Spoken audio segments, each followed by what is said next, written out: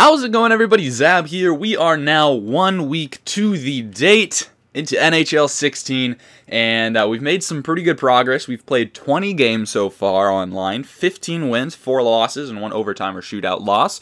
Uh, we are in Division 7. We have actually pulled some pretty nutty things, which I'm not used to. I usually pull nothing, and uh, the team's looking okay. It doesn't look too fantastic, but uh, it gets the job done. We're just going to jump straight into it, not hide anything. Uh, in one of my free packs, okay, for I think it was one of my uh, packs for for uh, getting the Ultimate Edition of NHL 16, we actually pulled this beauty in a free pack. A Brent Burns who goes for like 30, 40k.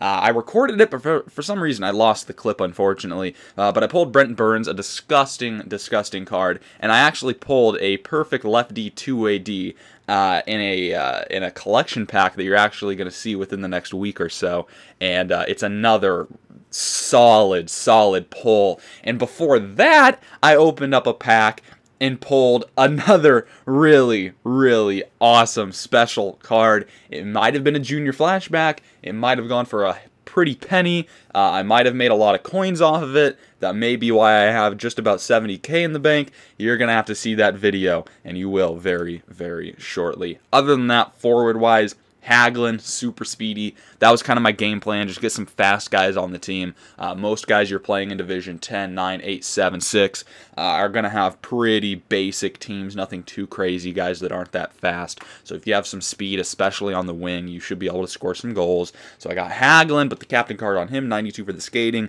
Nielsen, pulled him in a free pack bought Camilleri. He's pretty good. Other than that, a lot of these guys are just free pack pulls and and uh, you know small pulls that I've, I've gotten in other packs. Silfverberg, Plekanec, Perron, Kunitz, Fisher, uh, Johansson.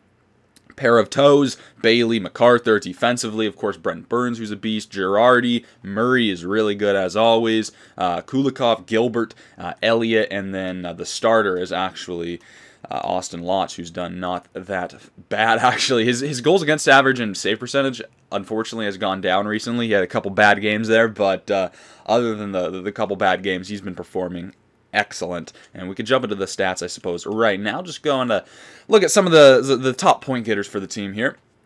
Number one is going to be Brent Burns, so there's at 12 points in 13 games. Very, very good. Perron, 10 points in 13 games. Uh, Murray has 8 points in 13 games. He's down on the second line, but when he was on the, the first line with Burns, he was easily a point per game.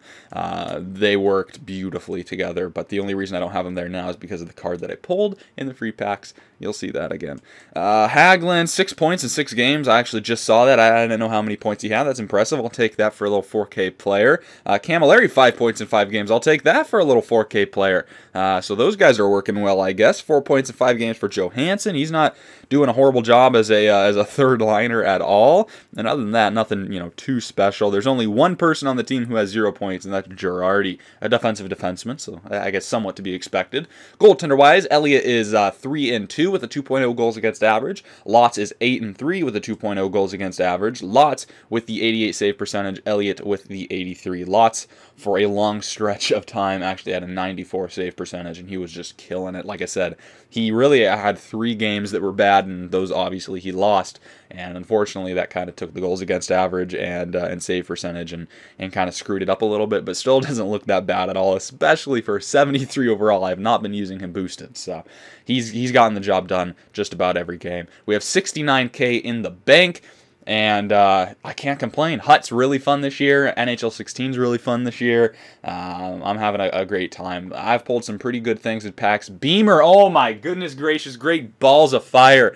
Beamer completed a collection, right? You guys know who Beamer is. He's on Twitter. Follow him. Uh, crazy guy. He he pulled in a collection pack for Carolina.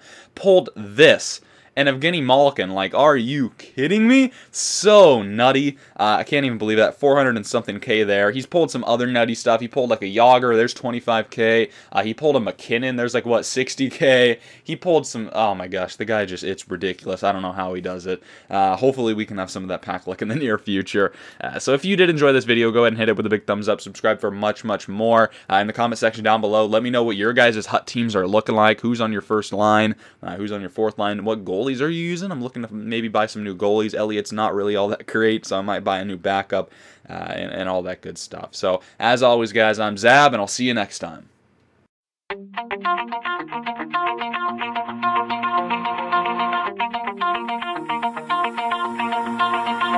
Pull my heart out of my chest, train my mind so I forget, sink your teeth into my bones.